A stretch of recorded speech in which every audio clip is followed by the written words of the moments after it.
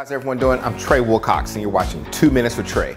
Today I'm gonna be working with one of my favorite ingredients. It's called beef short ribs, baby. Any type of beef is one of my favorites. I am a Texas boy, so I always love beef, but I gotta tell you, nothing better than slow and low. So what I like about bone-in short ribs is that when you cook a piece of meat on the bone, whether it be chicken, beef, uh, veal, all those meats pick up a little bit more flavor when they're cooked on the bone. After I remove this top layer of fat, don't worry, there's still gonna be enough fat to keep this short rib delicious. Now I wanna switch to a boning knife and I wanna come in here and remove the silver skin. So I got salt, pepper on my short rib here.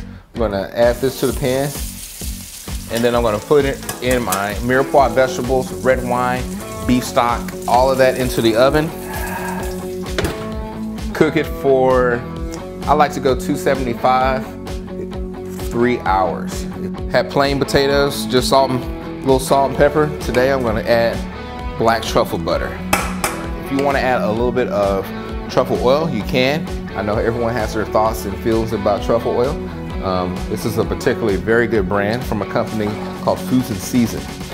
And peel the outside layers of the leaves of the artichoke off. I peel the outside layers, cut the stem off, cut the bottom, and then boom. My chanterelles, I'm actually gonna let them stay in this shape, this size. I'm not going to destroy that beautiful natural look that they have.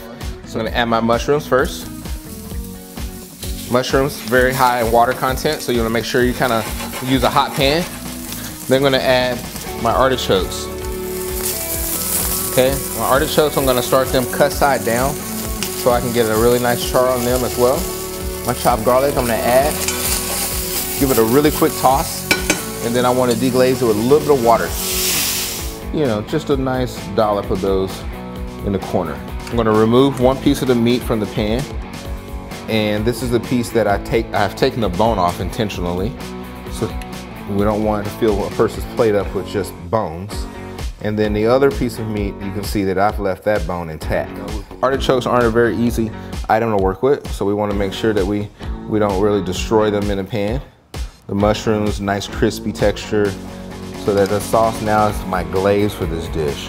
I mean, this is your true fall, winter, you know, warm you from the inside out kind of dish right here, man. I mean, this is good stuff.